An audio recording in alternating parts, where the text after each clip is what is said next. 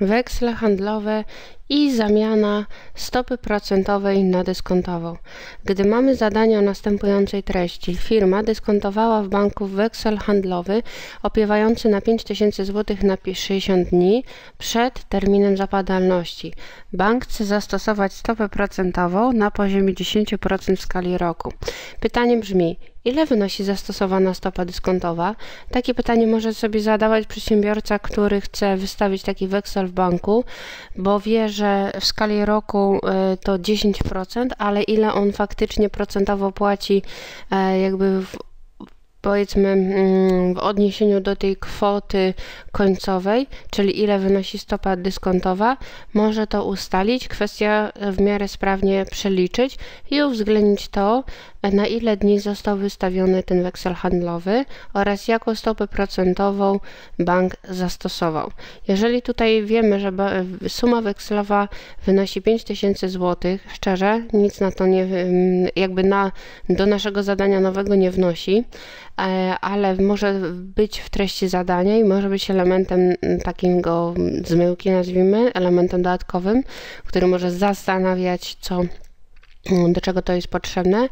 Jeżeli my musimy ustalić, jaka była ta stopa dyskontowa zastosowana przy tym sposobie kredytowania firmy, a wiemy, że roczne oprocentowanie zastosowane przez bank to 10% w skali roku i wiemy, że e, weksel został wystawiony na 60 kolejnych dni, to można zastosować wzór na stopę dyskonta, która się opiera na stopie procentowej rocznej i okresie trwania e, tutaj tego naszego kredytowania.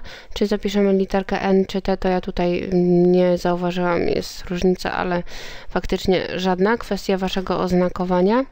A więc teraz, jeżeli stopę procentową podzielimy przez 1 plus stopa procentowa jeszcze raz, ale 1 szósta, bo 60 dni to jest e, w porównaniu do 361 szósta całego roku. Jeżeli to na kalkulatorze policzymy, najlepiej od razu mianownik i potem licznik przez wartość tego mianownika wyjdzie nam wynik.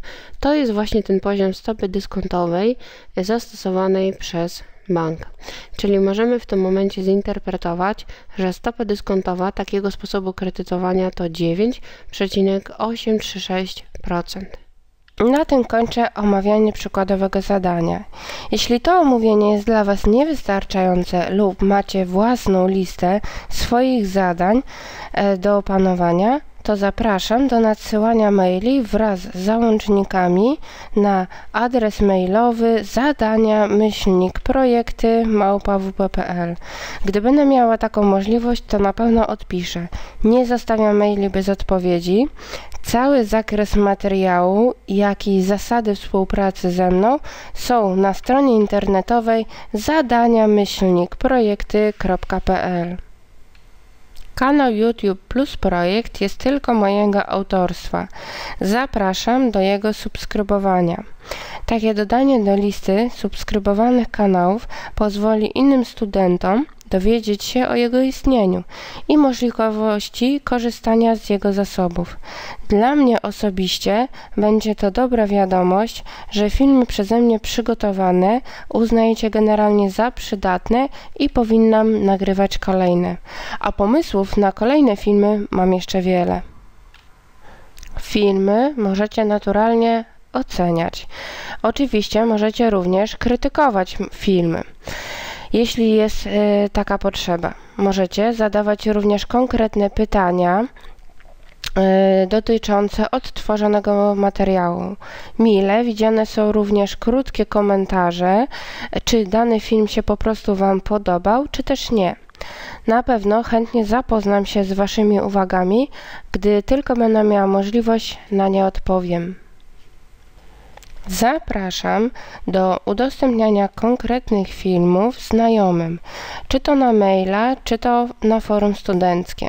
Tu jest możliwość czy kopiowania e, adresu filmu, czy bieżącego fragmentu, czy kodu do umieszczania na stronie.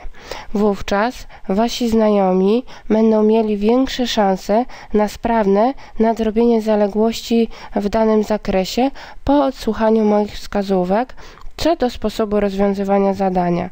To nie musi być trudne. Ktoś po prostu to musi prościej omówić. Pamiętajcie, że moje filmy mają charakter poglądowy. Wyjaśniam na nich konkretne zagadnienia z przedmiotów ilościowych.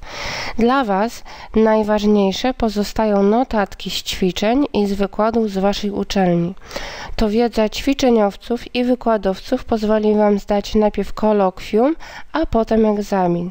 Pamiętajcie, przeliczajcie zadania samodzielnie, ręcznie, te zadania z uczelni zgodnie z obowiązującymi na niej wzorami, bo tylko tym sposobem macie szansę na zaliczenie.